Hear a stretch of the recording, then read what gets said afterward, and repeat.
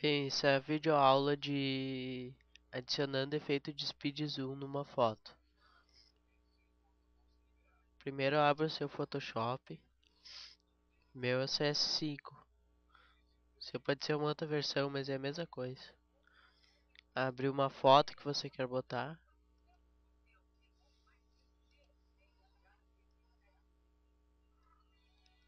Deixa eu ver.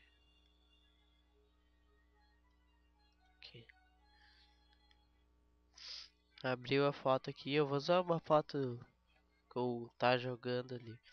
Daí agora você duplica a camada. Bota aqui. Depois de ter duplicado, aqui na, na, segu, na segunda camada, vem filtro ou filter, se for em, em inglês. E aqui é desfoque ou blur.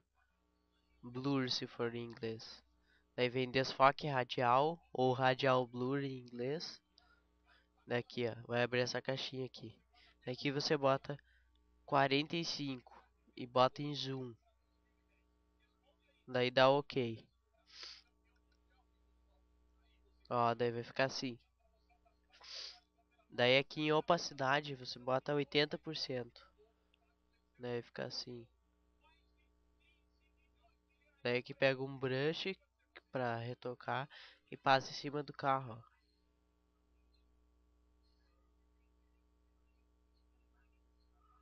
Ou em cima da pessoa, se você fizer ser feito numa pessoa.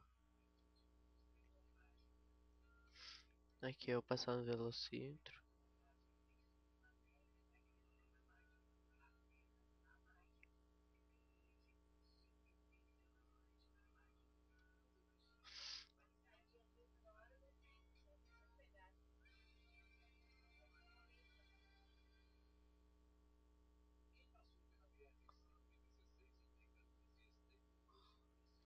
Deu ó, um efeito bem fácil de fazer no Photoshop. E é isso.